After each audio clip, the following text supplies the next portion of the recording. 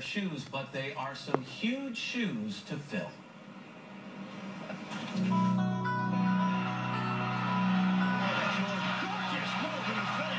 You always knew there was going to be something big. You sat on the edge of your seat just expecting him to make your jaw drop. Michael Jordan. Every night when I came to the arena, it wasn't just a game. Michael Jordan. Jordan. I was witnessing history. And as the team photographer for the Chicago Bulls, Bill Smith had the high-stakes job of freezing history every night.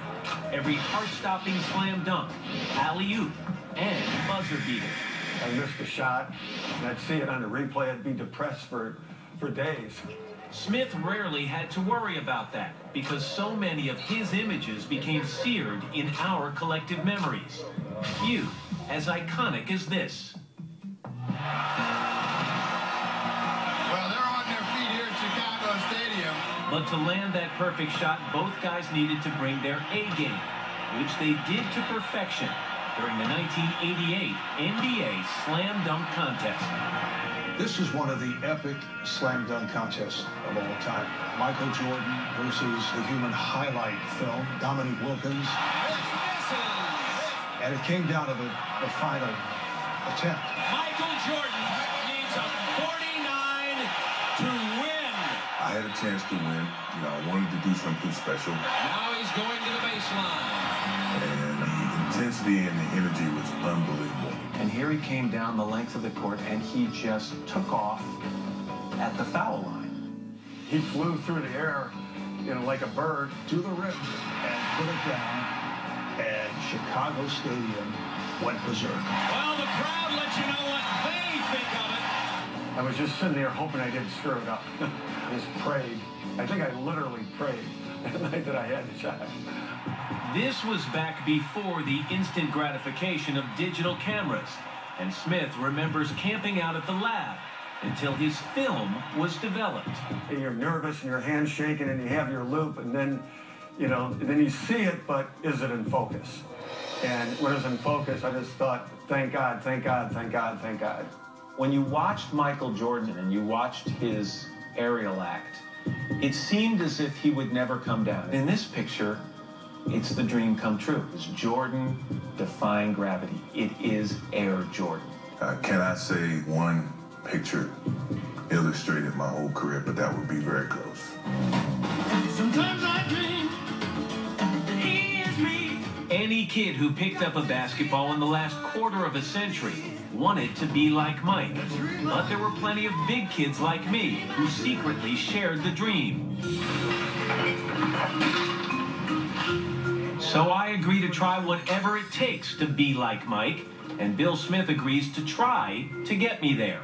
We might have to have uh, a few bales of, of wire and uh, and some riggers on hand and our Photoshop skills in post-production. And make sure there's a trampoline or some soft landing spot. Like that, right? Is there a second intern? Number two. Intern number one's on the way to the hospital. I mean, I, ideally, if we had like a thin wire to hold each leg in position, what do you think? Hi, guys. How are you?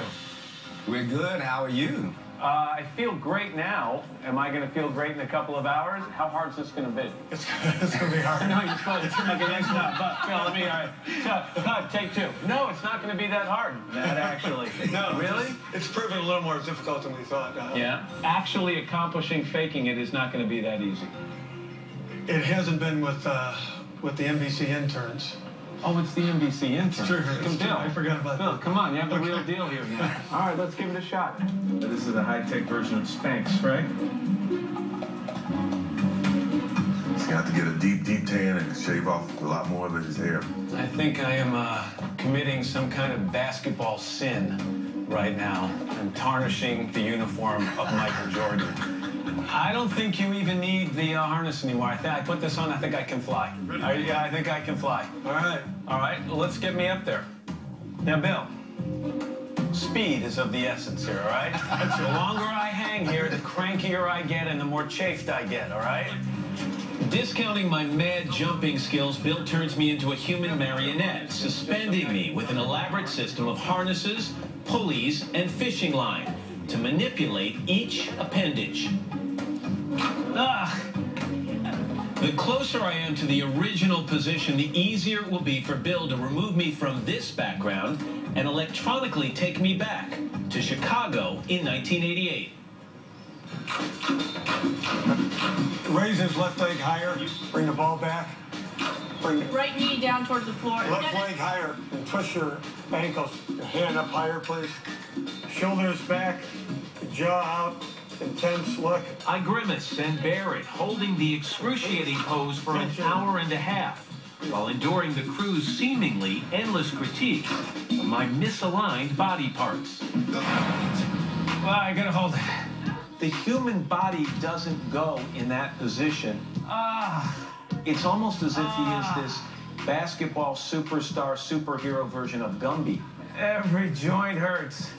He bends and contorts himself in a way that shouldn't be possible. Ball back. I can't. Okay. And then adding insult to injury, they forget about me. Okay. He needs to like twist toward the camera a little bit Yeah. more. Don't worry about leaving me hanging here, okay? Finally, Good. Okay. A wrap. so did all that harness burn pay off? Wow, that's pretty good.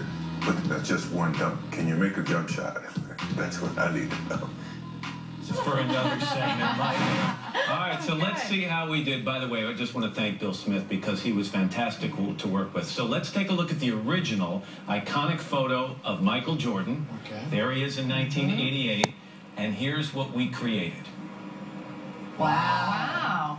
You did it. That is amazing. There are some things that aren't exactly Yeah. right. My, my feet are in a slightly different position. I just could not get. Keep in mind, he propelled himself into the air. He was a man in motion, and we were hanging. But I can um, barely tell you're chafing there. amazing. And Yeah. you've never been the same since, You know, it took it really was painful. I had, and my apologies to those interns who had to endure it before me. Let me also thank the team of the Broadway show Fuerza Bruta, who enjoyed rigging me up maybe a little too much, actually. But now you're a real boy.